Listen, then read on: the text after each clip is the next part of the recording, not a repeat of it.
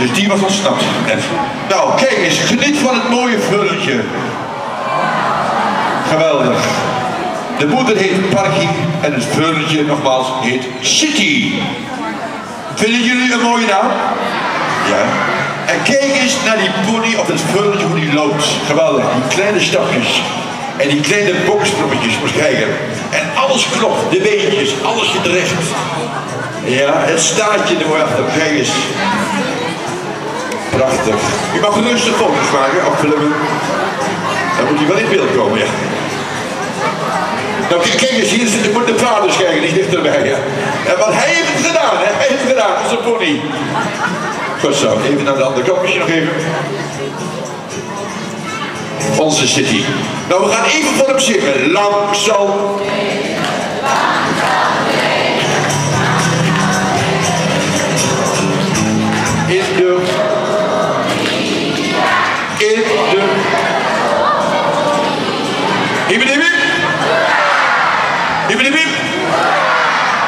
zo, City.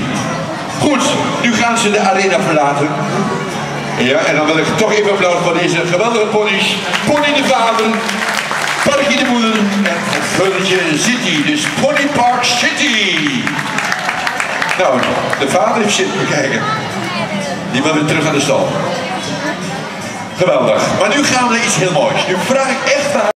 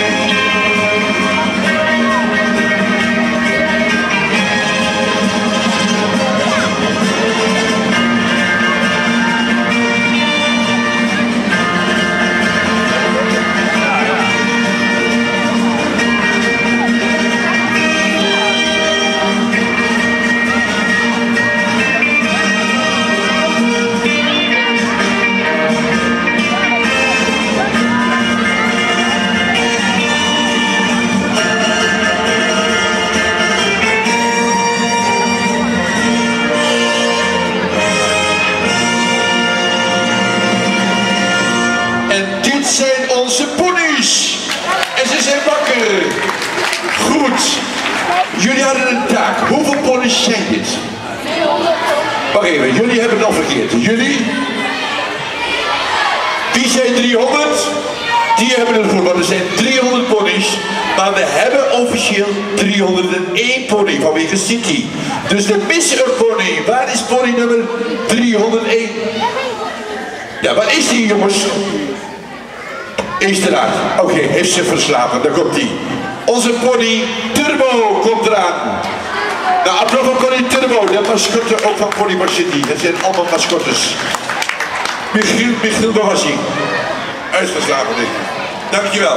Goed, eh, de ponies gaan straks weer vertrekken richting de paddocks, maar die worden voor u klaargemaakt. Maar u mag nog niet vertrekken, want u moet straks eerst een stempel op elkaar krijgen. En waarvoor is die stempel? Dat u straks even naar een gesprek beluisteren voor de veiligheid en de omgang van een pony. Dus we gaan de ponies straks wegsturen, maar voordat we dat gaan doen wil ik eerst applaus hebben voor onze cowboys. En we hebben vandaag ook Goed, en hek gaat open, want de ponies van Pony die kunnen nog niet springen. Oh, die gaan leren, dik erop. Goed, daar gaan ze. Voorzichtig naar de middels.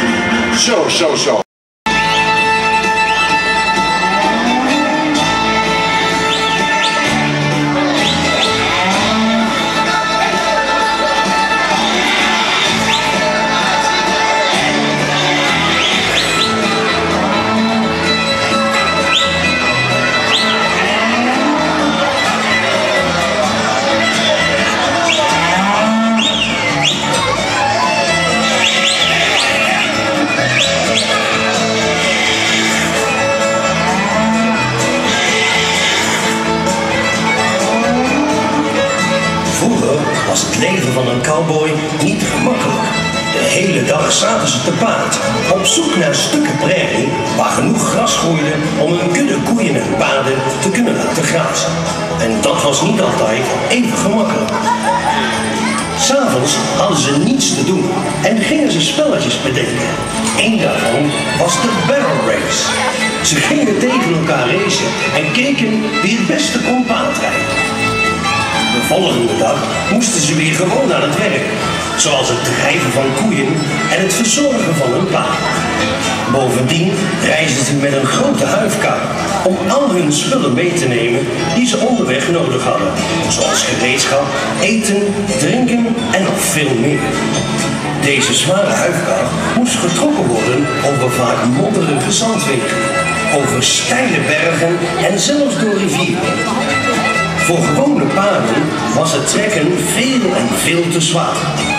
Voor dit zware werk hadden de cowboys speciale trekdieren. En dat waren de muildieren, die jullie hier kunnen bewonderen. Graag willen we jullie daar iets meer over vertellen.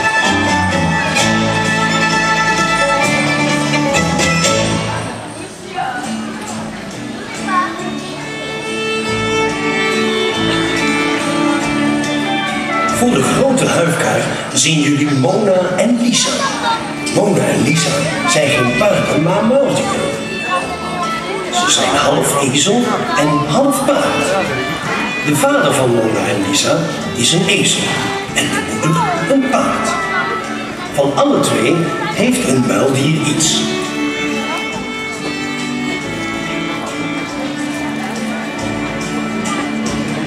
Een muildier heeft de kleur, de hoogte en de staart van een paard, maar heeft de oren en het hoofd van een ezel.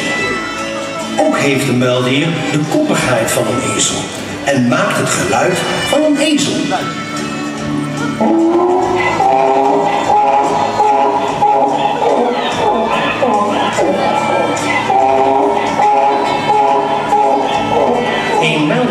Heeft de goede eigenschappen van zowel een ezel als van het paard.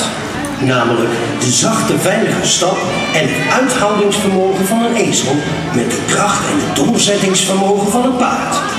Bovendien stelt het lage eisen aan het voedsel.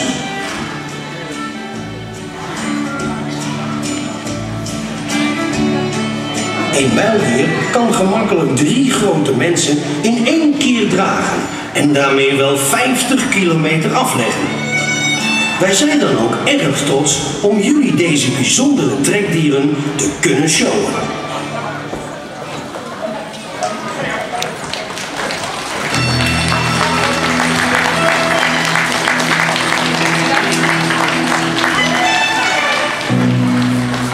Voor de unieke postkoets uit 1863 zien jullie Tennessee en Texas.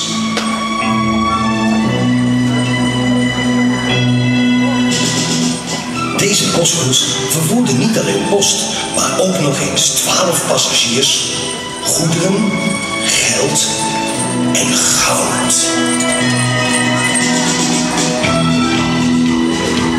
Het goud werd verstopt onder de zitting van de koetsier, waar ook een geldkist met vele dollars verborgen zat.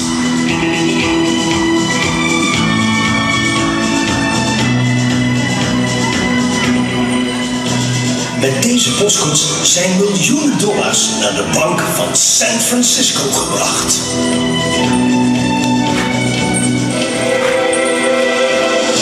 Helaas werd deze postkoets in 1867 door vijf bandieten overvallen.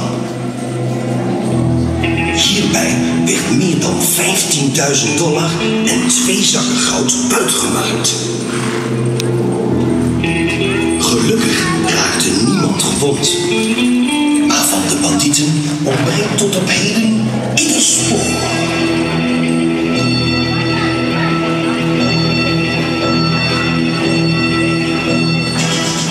De postkoets was in de tijd van de cowboys het beste en het snelste vervoermiddel.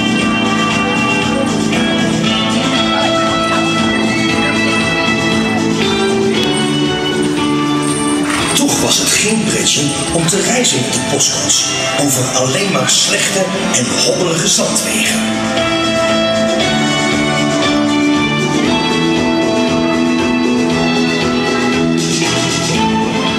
Een reis met de postkoets van het oosten naar het westen van Amerika duurde ongeveer vier maanden. Eén zitplaats bovenop de postkoets was het goedkoopst, maar dan was je ook niet beschut tegen weer en wind. En het was bovendien gevaarlijk.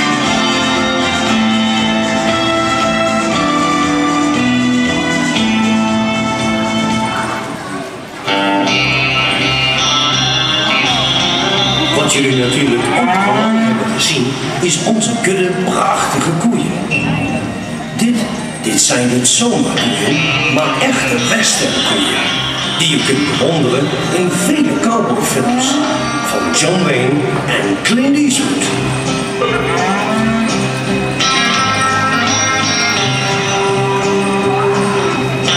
Behalve de longhorns werden deze koeien, die ze Hereford koeien noemen, in de vorige eeuw gebruikt door de cowboys uit het woeste wilde westen voor het begrazen van de prairies en voor het vlees. Het grote voordeel van deze Hereford koeien is dat ze bijna nooit ziek worden.